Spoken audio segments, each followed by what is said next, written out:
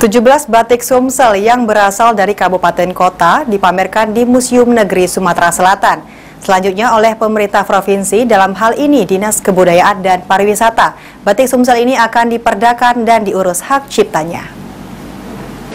Para kolektor-kolektor yang menyimpan benda-benda 17 batik asal Sumsel ini dipamerkan di Museum Negeri Sumsel. Sebelumnya, batik asal Sumsel ini ditemukan oleh salah satu pembatik yang telah berkeliling ke kabupaten kota di Sumsel dan menemukan batik asal Sumsel di dinding maupun tiang di bangunan rumah adat Kabupaten Kota Sumsel. Selanjutnya, batik asal Sumatera Selatan ini dikumpulkan dan nantinya akan diperdakan serta diurus hak ciptanya oleh Pemprov Sumsel. Dalam hal ini, Dinas Kebudayaan dan Pariwisata Sumsel agar batik asal Sumatera Selatan tidak diakui oleh daerah lain. Mudah-mudahan ini akan diterima oleh masyarakat dan disetujui oleh Pak Gubernur sebagai pemerintah. Ini akan kita perdakan.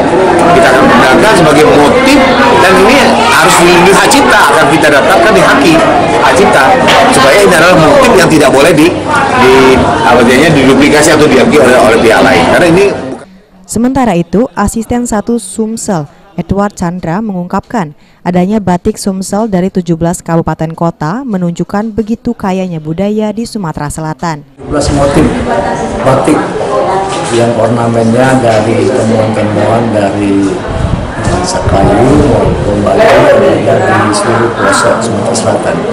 Ini melihatkan bahwa begitu kayanya uh, budaya uh, sejarah yang ada di wilayah Sumatera Selatan dan ini kita sangat mengapresiasi uh, dari jajaran museum sejarah yang telah mengapresiasi ini biasa dan ini akan dapat disosialisasikan kepada Selain memamerkan 17 batik asal Sumatera Selatan, sejumlah benda bersejarah lainnya ikut dipamerkan di Museum Negeri Sumsel.